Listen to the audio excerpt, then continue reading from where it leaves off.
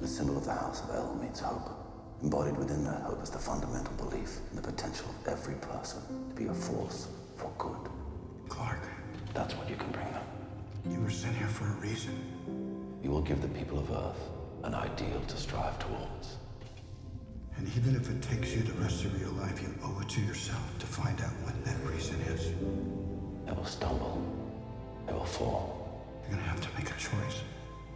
They will join you in the sun, Kal. Choice of whether to stand proud in front of the human race or not.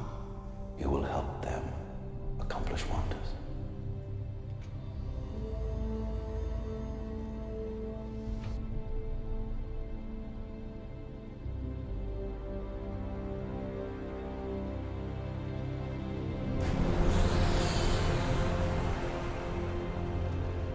All the hopes and dreams of Krypton live in you now.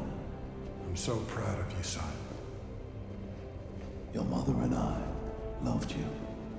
Your mother and I knew you would change the world.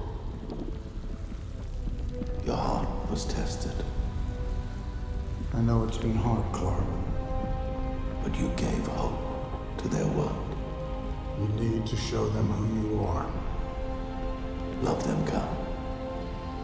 The way we loved you. Fly, son. It's time.